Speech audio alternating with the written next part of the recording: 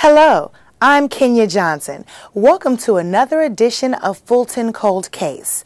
The victim in this case lost his life on November 16, 1996.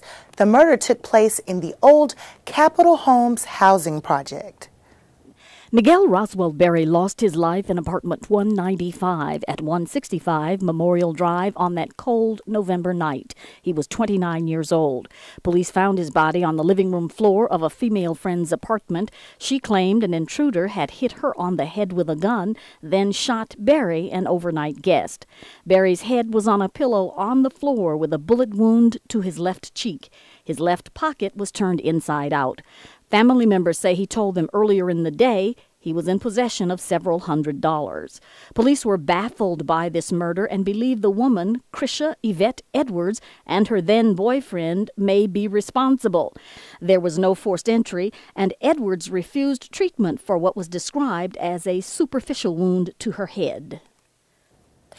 If you know anything about this cold case, now is the time to clear your conscience. Call 1 888 OLD TIPS. That's 1 888 653 8477. To contact us online, send an email to coldcase at fultoncountyga.gov. In some cases, there is a reward for information. That's this edition of Fulton Cold Case. I'm Kenya Johnson. Thanks for watching. We'll see you next time.